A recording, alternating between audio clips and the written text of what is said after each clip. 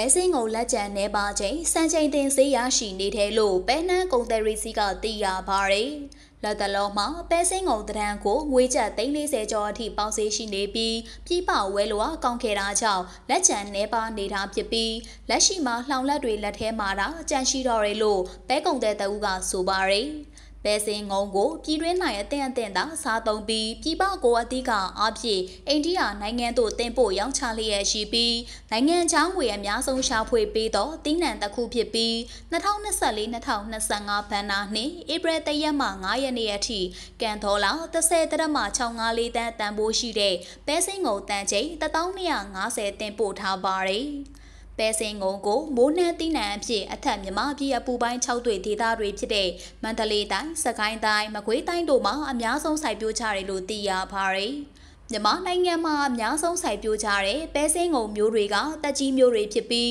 အသက်ရ285ရက်ခန့်ရှိတယ်လို့သိရပါတယ်ရှင်။